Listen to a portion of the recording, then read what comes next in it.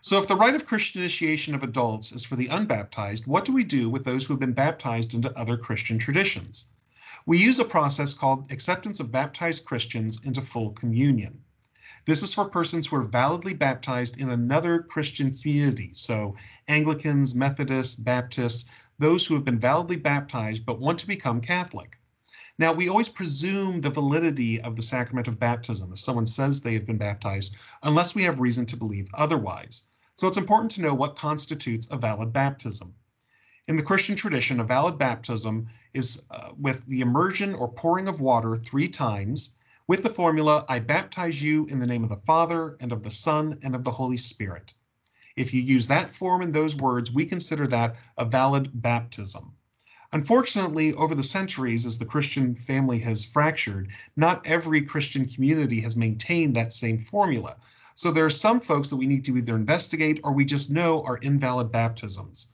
So, for instance, if you have someone coming into your parish who is coming from a Mennonite tradition, Pentecostals, the Seventh day Adventists, Moravians, or many non denominational communities, you're going to need to do a little bit of investigation to see how they were baptized either by asking them if they're old enough to have remembered, or even calling the community that they came out of and asking, how would this person have been baptized? On the other hand, there are some places that have invalid baptisms, such as the Church of Jesus Christ of Latter day Saints, the Mormons, Jehovah's Witnesses, Oneness Pentecostals, the Salvation Army, and Unitarians. If you have someone coming from any of those traditions, we do not consider their baptisms valid, either because they use a different formula or because they don't intend to do what the church understands baptism to be. It's also important to, under, to know that uh, if someone comes saying that, oh, I made an altar call or I said the sinner's prayer or something like that, that does not constitute baptism. Baptism is always a sacramental form with water and the proper words. If a person's baptism is determined to be invalid as you're doing your intake with them, then they would celebrate the rite of acceptance and become a catechumen. And so they would follow the RCIA process, not this process. So if you have someone with an invalid baptism, they're going to become a catechumen and go through the full RCIA process, as we've outlined in the previous video. It's important to note that the church makes a clear distinction between what we call candidates for full communion and catechumens, those who are unbaptized. The baptized are candidates, not converts. The term convert doesn't apply to them because they've already converted to faith in Jesus Christ through their valid baptism. In fact, the national statutes say the term convert should be reserved strictly for those converted from unbelief to Christian belief and never used for those baptized Christians who are received into the full communion of the Catholic Church. So we want to be very careful with our language there. And the reason is because the church wants to uphold the dignity of their baptism. We don't want to give the impression that we think their baptism is somehow lesser just because it wasn't in the Catholic tradition. We accept any valid baptism as truly a sacramental baptism, and so we have to uphold the dignity of that sacrament. Their status as baptized believers must also be respected, Again, the text says anything that would equate candidates for reception with those who are catechumens is to be absolutely avoided. This is why we don't celebrate the rites that are proper to catechumens with candidates. They don't do the minor exorcisms. They don't do blessings. They are not anointed with the oil of catechumens because they've already entered into the Christian faith. They are already baptized. So they do not participate in those rites. So what is required for reception into full communion?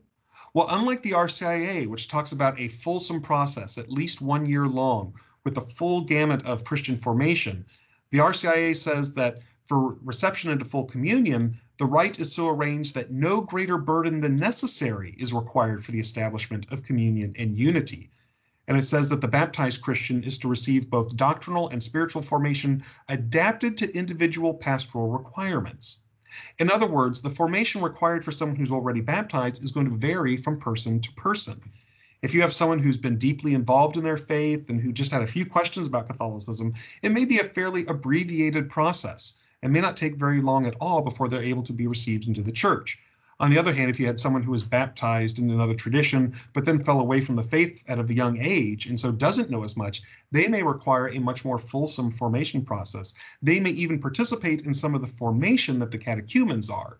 But again, that has to be determined when the person is brought in to see where they are at in their Christian journey and how much it's going to take to get this individual person ready to be received into the church. At the same time, the RCIA text also says we should avoid any sense of triumphalism. We shouldn't act as if we Catholics are somehow better or that our baptism are better than other ones.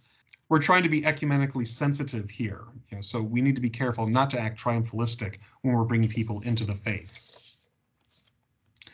So we do the same intake as we do of other inquirers, again, establishing especially those two important questions the validity of their baptism and investigating if there's any marriage issues necessary to take care of before they can be received into the church.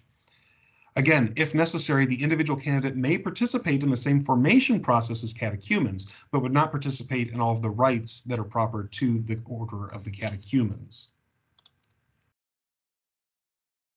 The rites that are proper to these candidates are, first of all, confirmation and Eucharist. That is how they will be received into the church. And again, it can be celebrated whenever they're ready. There is no need to wait until the Easter Vigil to bring someone into the church who has already been baptized. Ideally, it is done at a Sunday Mass with the parish community present. And there's no need to, for the priest to ask permission from the bishop to confirm this person. Canon law gives the priest the right and the duty to confirm anyone that they bring into full communion with the Catholic Church.